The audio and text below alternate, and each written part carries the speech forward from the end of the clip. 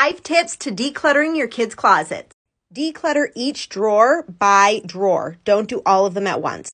Create one large pile for donating all the kids' clothes. File fold the kids' clothes and use drawer dividers to keep all the clothes standing up.